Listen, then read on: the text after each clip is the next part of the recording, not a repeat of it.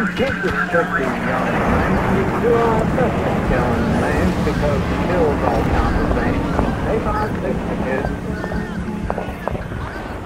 Hey up everyone and welcome back to a bit more Rising Storm 2 Vietnam where I'm going to be taking a look at the weapons. There are going to be more comprehensive videos out there because I'm not one for all the ins and outs of the weapons. You know, I'm interested in the practicality of it. So all the weapons have a dangerous end and a less dangerous end. The dangerous end points towards the enemy, the less dangerous end stays in your shoulder unless you're battering somebody to death with it. This is part of the attitude that you kind of build up when you've been playing Red Orchestra and Rising Storm. The weapons themselves are just tools. What decides whether you're going to win the engagements you get into are things like the positioning, surprise, your situational awareness. All the weapons are so lethal and so accurate at the right ranges that it doesn't really matter too much what weapon you've got. You're going to be able to be very effective. There are a couple of little things though that I've seen some people gloss over, miss or misunderstand. So I'll give them a quick once over and then I'll leave you alone with the gameplay footage. If you're looking for a specific weapon, I've left some timestamps down in the description below so you can skip ahead and have a look at them.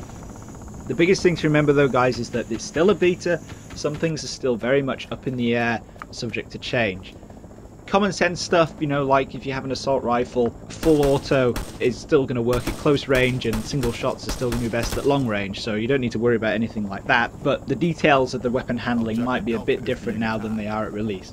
Let's kick off with the traps and the explosives because they're something new. The Vietnamese have the punji trap, the toe popper mines, and the tripwire, and these are all what you call victim activated traps, which is to say that you plonk it down somewhere where the enemy can't see it and you wait for them to run into it and they'll set it off on their own. The Americans, on the other hand, have the Claymore and the C4 explosives, and these are both command activated, and that means that you have to take the clacker out and clack it to set the explosives off. So all people who are putting claymores down and then wondering why they never explode, it's because you have to tell it to. So they're useful in different ways. The Americans, it's a very specific kind of defensive, or if you're going to use the C4 as a kind of gigantic hand grenade, offensive way of doing it. With the Vietnamese, it's more about denying the enemy freedom of movement by occasionally maiming him. If these things worry you, then what you want to do is pick the Pointman class as the US or the Scout class as the Vietnamese, because they can see traps and explosives, they're highlighted red for them,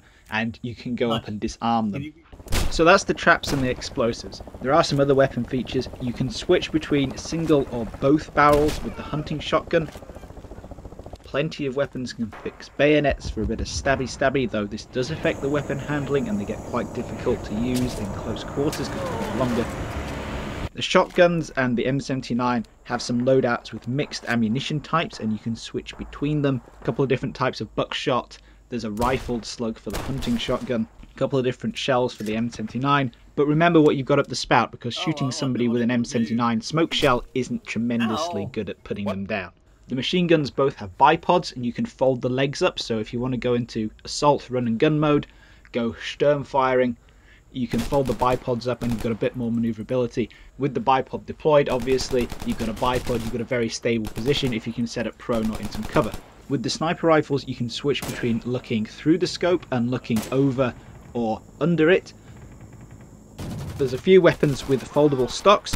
Fold the stock to get a nice handy close range maneuverable hip firing machine. Redeploy the stock and you get a bit of control back and you can look through the irons again. Grenades you can throw overarm or underarm.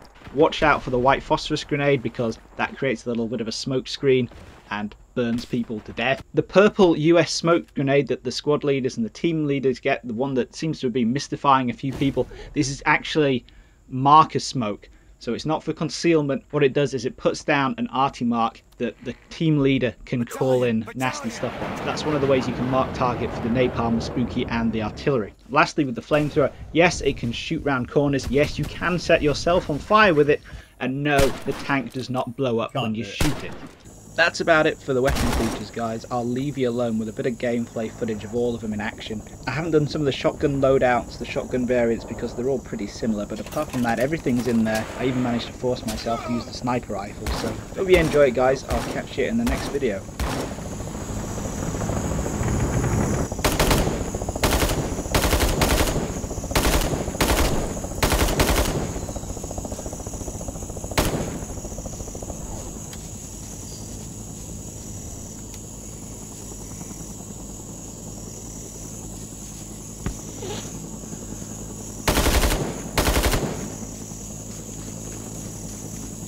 attacked.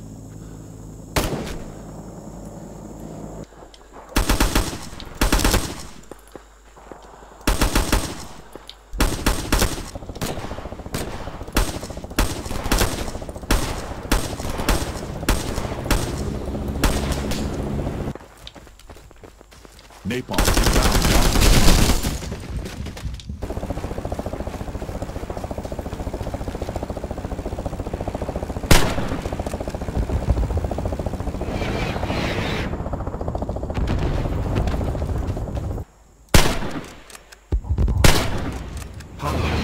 Good job, boys. You show those Zythex what's what.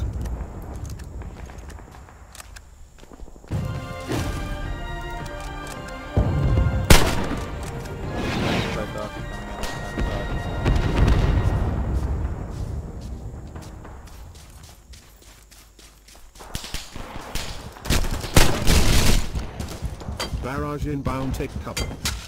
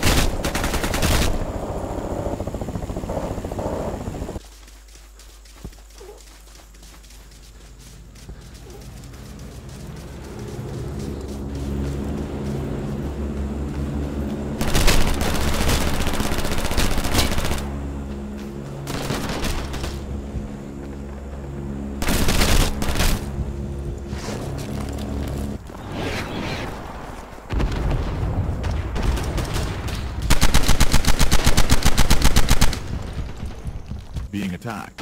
You're losing this fight. Capture an objective.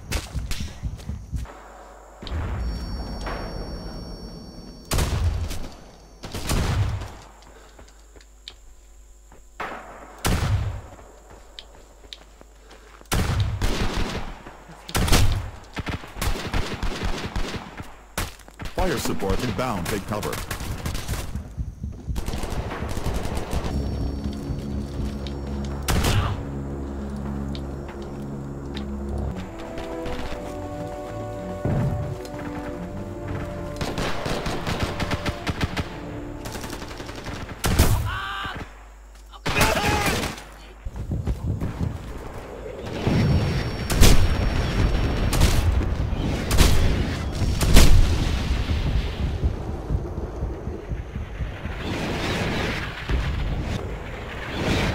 are taking objective Fox Bravo.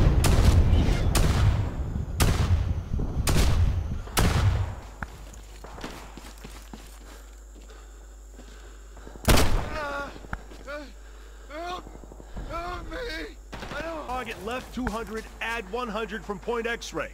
Repeat, left 200, add 100 from point... Ah!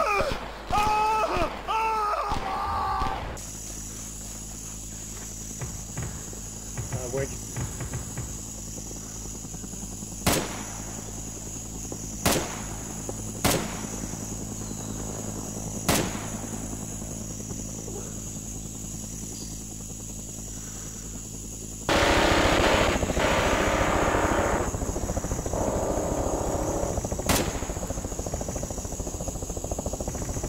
Whisper, scouts report in.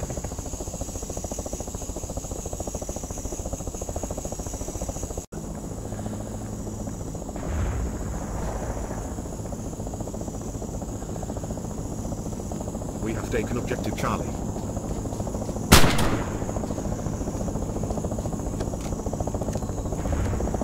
We are taking objective Bravo.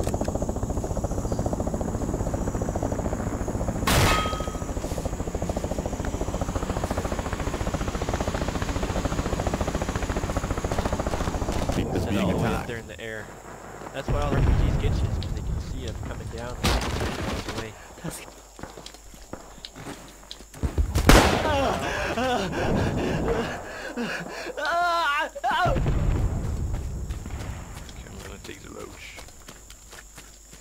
We have lost objective Charlie.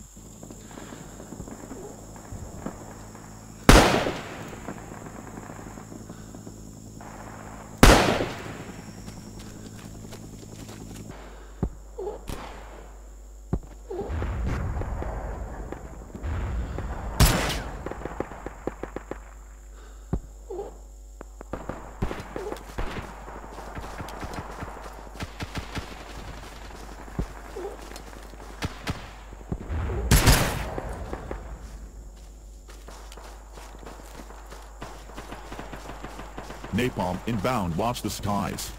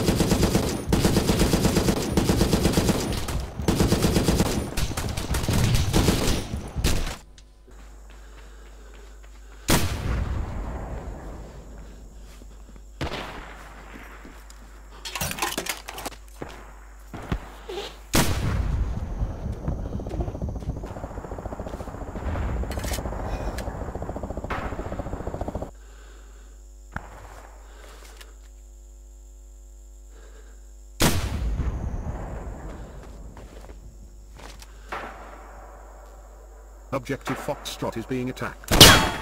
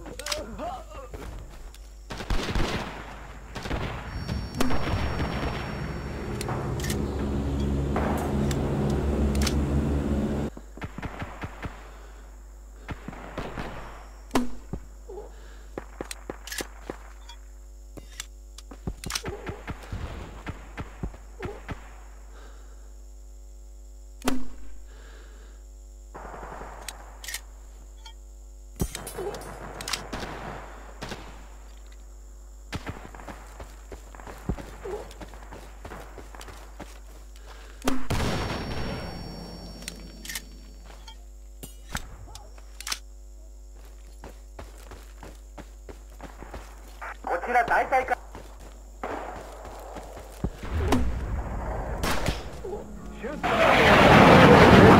some pictures, uh, you split. All your life you'll remember it. Napalm kids. They's in good shape for the shape they's in, but there's no way that they can win with napalm rolling down their skin. Napalm sticks to kids.